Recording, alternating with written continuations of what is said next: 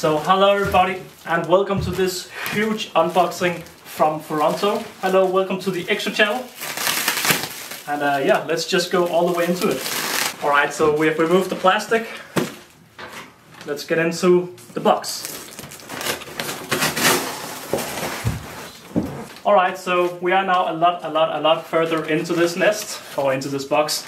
And of course this is the new massive Foranto wooden nest and an outworld. Uh, and a small wooden nest, as far as I'm aware. I think we have the outworld right here. So let's just place that right there. And then we have the nest in here, I hope. now the big question is rather the small nest is in here or in there.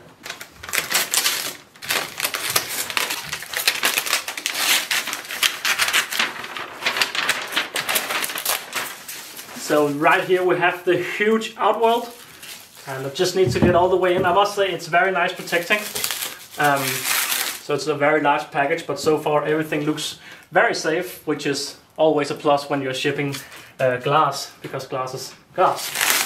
And right here we have the lid of the outworld. Just, just see how huge this is. It's a massive, massive, massive outworld.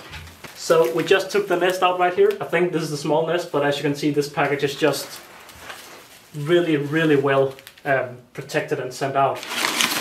We have the decorations right here because it's an outworld set with decorations, which is of course very nice. And then we also have a little bit of tubing. Oh, and then we have all the dowels for the nest itself. Okay. A very, very lovely unboxing experience. So later on in the video we will be building the outworld um, but yeah, let me just unbox all of these small bits and bobs. Alright, so inside there's two small packages. We have these uh, ventilation shafts, I want to call them, uh, for the nest. So you can see right here we have these ventilation thingy things. Um, so we have airflow inside. And I think they just they just sit like that, I think. And that of course gives an airflow inside of the nest which I do think looks super nice. I really like that they have the small logos all over the place. So what I love with these unboxings of Foranto products is there's so many layers, which I really love. And last time I unboxed the Nest, we, we seem to have the same kind of cotton here in the end, or not cotton, but cloth material. And the thing gives a super cool unboxing experience once you get in here, and there we are. And wow, that nest looks stunning. Stunning nest, that is for sure. So with all of the small bits and bobs unboxed, it's time to go in and get the massive nest out.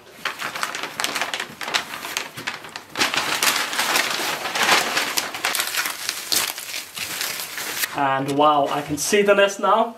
And of course you can as well. And wow, this is a huge nest. Huge nest. Now this nest is made to be put on a wall. So we have, all right, all right. So that's super neat as well. So we just need to put two screws in here and then we can put it on a wall. So the cool thing with Foranto is you can really specialize how you get things. I ordered to have two different entry holes on each side. So yeah, looks super cool, man. Looks super cool. And of course, all of these holes are to put in the dowels so you can close off each section of the nest, um, which you're gonna have to uh, kind of follow the chambers to see what opens and what doesn't open. But yeah, looks super cool. Alright guys, hello and welcome to the part of the video where we are preparing the nest. So of course we have these and uh, what I learned in the last video uh, after last time was that these are meant to be loose.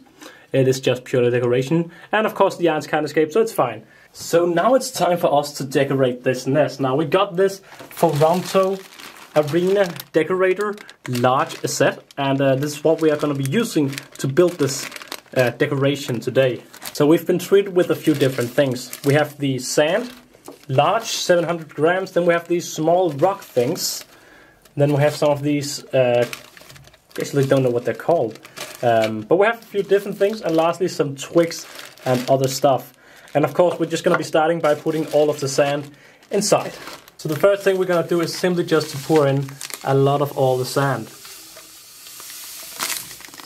And I am no expert of designing these things. So I think I think I just want to get an even layer across everything and then I want to build a hill afterwards. But I think it's best to just pour everything in first. I don't know though. so that may have been dumb, but that's, that's how it is. We learn as we go along. Alright, and now it is time to add the twigs. Now what I think I want to do is I want to, of course I want to have a foreground uh, for where the ants will hunt and eat and all of this. Um, but I also somewhat want to make sure that the ants, uh, I also want to kind of hide the nest entrance. So we have the nest entrance over here. So I think I want to maybe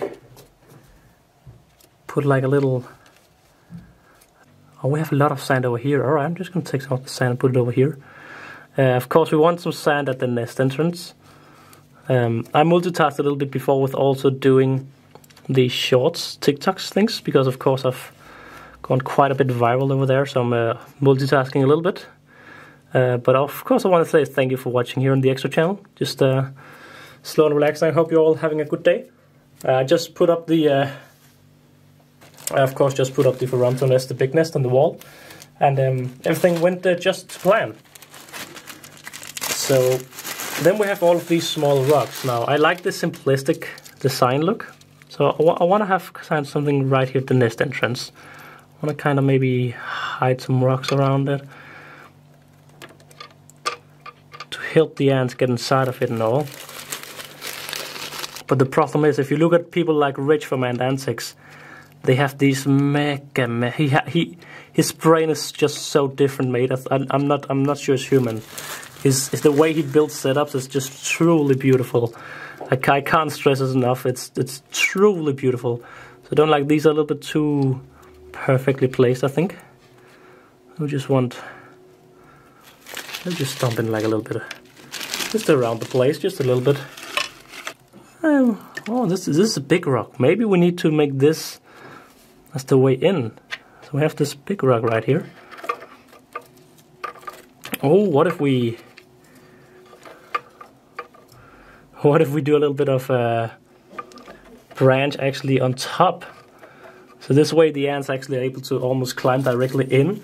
It's to be a little bit harder for me to move the setup around, but of course it's to be stationary for the rest of its life because it's connected to the big nest.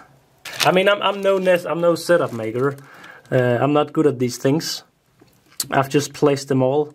I want a kind of a clear area here in the front because that's where I'm to be feeding the ants and watching them. And I feel like we have a quite clear area here and then we have a little bit of background things. So of course we have one last bag to fill. Just uh, again right here at the nest entrance. I don't know if these help them. I think it will help them because it will give them the ants a little bit of a better grip.